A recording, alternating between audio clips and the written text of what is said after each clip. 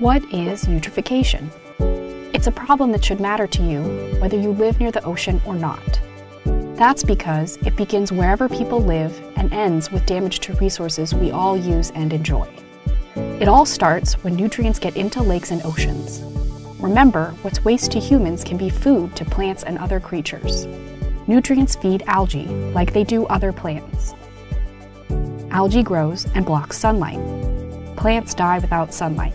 Eventually, the algae dies too.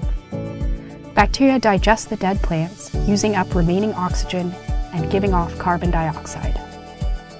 If they can't swim away, fish and other wildlife become unhealthy or die without oxygen. But it doesn't have to be this way.